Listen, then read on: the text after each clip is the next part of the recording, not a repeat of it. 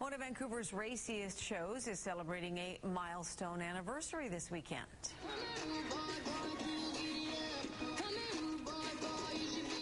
Well, this year, being the 10th anniversary of the Vancouver Taboo Sex Show, we have feature performances from the Exotic Circus, which is provided by Stiletto Storm. We have aerial acrobatics. We have pole dancers, contortionists, magicians, comedians, and fire performers. And outside of our feature performing group, we also have burlesque performers. We have fashion shows. We have uh, a latex body paint and bikini contest, um, as well as an assortment of other little crazy things that we, you know, sneak in at last minute, like half-naked firefighters.